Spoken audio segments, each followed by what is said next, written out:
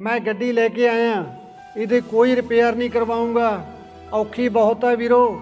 ਜਿੱਥੇ ਸ਼ੇਰ ਵਰਗਾ ਪੁੱਤ ਬਹਿ ਕੇ ਖਤਮ ਹੋਇਆ ਹੋਵੇ, ਉਹਨੂੰ ਹਿੱਕ ਨਾ ਲਾਉਣਾ ਕੋਈ ਸੌਖੀ ਗੱਲ ਨਹੀਂ। ਤੁਸੀਂ ਆਪਦੇ ਕਿਸੇ ਧੀ ਪੁੱਤ ਨੂੰ ਤਰੱਕੀ ਨਹੀਂ ਕਰਵਾ ਸਕਦੇ। ਕਰਵਾ ਕੇ ਵੇਖ ਲਓ।